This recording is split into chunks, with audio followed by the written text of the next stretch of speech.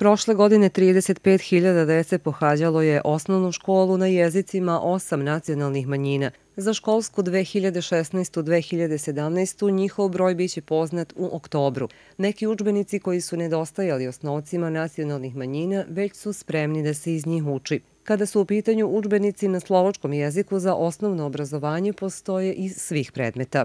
U našoj školi nikad nisu deca učila e, iz srpskih učbenika, jedino strane jezike, što uopšte nije bitno za nastavu, pošto i onako pričaju na stranom jeziku, znači na nemačkom i na engleskom jeziku iz srpskog jezika u višim razredima mi smo imali pojačanu nastavu, tako da smo radili po učbenicima koji koriste se u srpskim školama.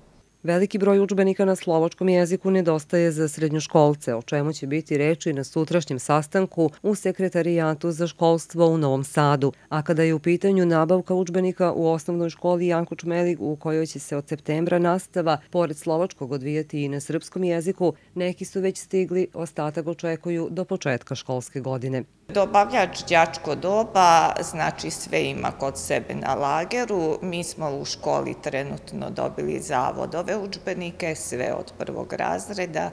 E sad očekujemo od drugih izdavača, ali kažem, na lageru su kod dobavljača, tako da svakog trenutka će stići u školu. Svakako do prvog će deca imati učbenike.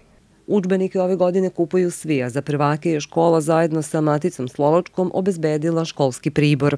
Što se tiče prvaka, oni tradicionalno već to postaje, e, dobijaju rančeve e, i deset svesaka, pernicu punu i blok.